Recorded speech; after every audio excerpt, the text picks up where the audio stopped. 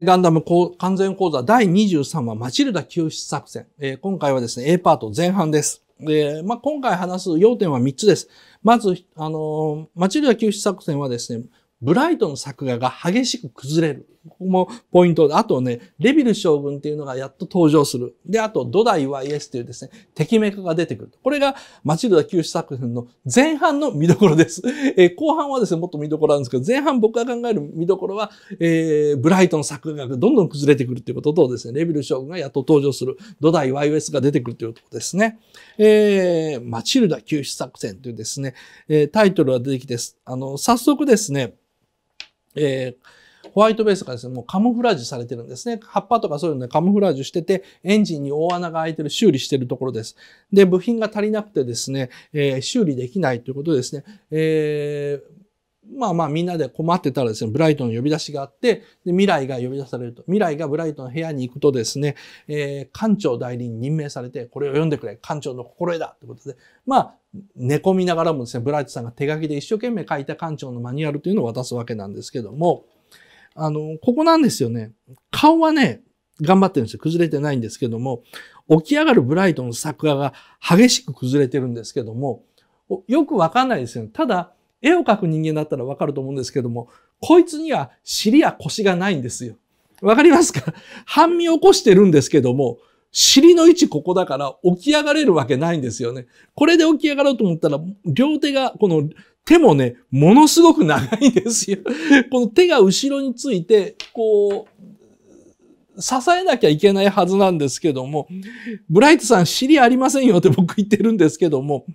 腰の位置がここでないとおかしいのに、なんかこの辺になってるんですよね。だから、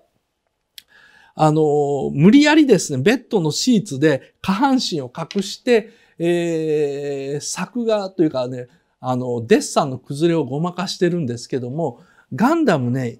大体この辺りぐらいからこういうですね、デッサン、ただでさえ多いんですよ。もともと機動戦士ガンダムってガンダムの盾は何のためにあるんだあれはガンダムの作画の崩れを隠すためだと言われるぐらい、すぐにね、隠すんですけども、あの、こういうのが多くなっていきます。で、ブライトさんね、この、に限らず、メインキャラクターの、その、プロポーションとか、重心とかデッサンが徐々に徐々に崩れてくるんですね。この辺は未来少年コナンではね、本当にね、ないんですよね。で、なんとか顔だけでも作画崩れから防ごうとしてますね。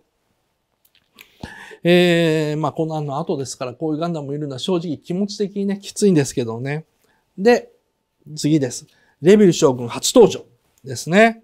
えー、レビルのですね、ビッグトレイっていうですね、地上戦艦が現れて、えー、ナレーションで状況説明があります。レビル将軍のですね、名前自体は、あの、第9話から出てるんですよね。あの、補給に訪れたマチルダから初めて語られていてですね、えー、第14話や第16話でもですね、名前のみ登場してます。で、今回ですね、第23話でやっと登場しました。で、このアニメにおけるですね、連邦軍の一番偉い人です。機動戦士ガンダムというテレビシリーズで連邦軍で一番偉い人として出てくるのがレビル将軍なんですよ。で、ジオンの側は、例えばデギン法王とかですね、ギレン総帥というですね、トップがどんどんどんどん出てくるんですけど、連邦軍は大統領みたいな人が出てこないままなんですよね。だから、連邦軍は実はどういうふうな組織なのかっていうのは、ちょっとね、見通しが悪い構造になってます。あのこの辺はですね、その戦争ものとして悪役の方を細かく書いて、味方の方をあまり書かないっていうのは、かなりうまい手法なんですけども、この表現のちょっとバランスをあえて悪くするっていうことは、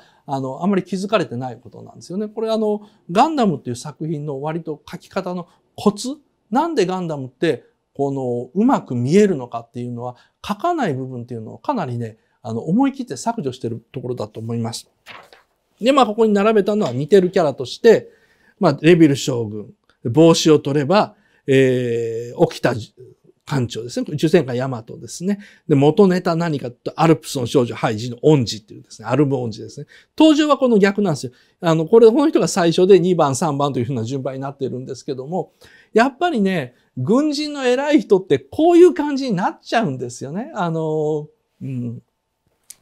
なんでかというのも言えないんですけども、あの、これに帽子かぶせりゃいいじゃんとかですね、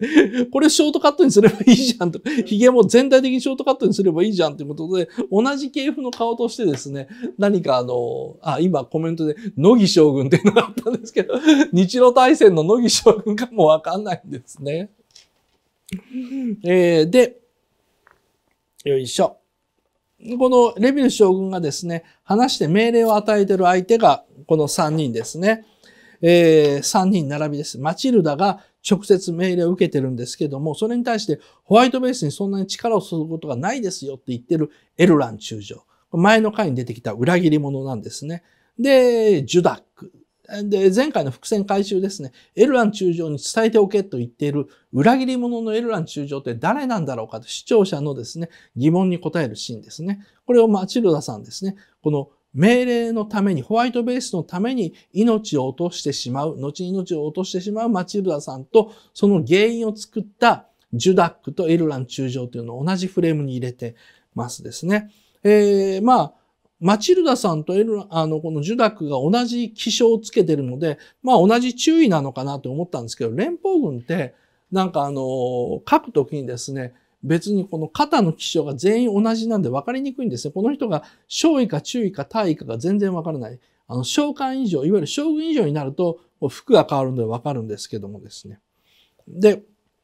この人ですね。エルラン中将。これが連邦軍内の裏切り者です。マクベからはです。マクベですね、エルラン中将からの情報をあまりにうまく使いすぎたためですね、逆に疑われる羽目になりました。エルラン中将から来たせ、あの、やつをですね、まあ頭が切れる人だから自分の行動が読まれるなんとか思ってないんでしょうね。エルラン中将から来た情報というのをそのままですね、応用して、すぐに連邦軍に対して手を打ったため、あまりに巣抜けだと。これは裏切り者がいるに違いないというふうに思われて、この人もだんだんだんだん、えー、ここから先ですね、オデッサの戦いの時にですね、裏切りが暴かれるようになります。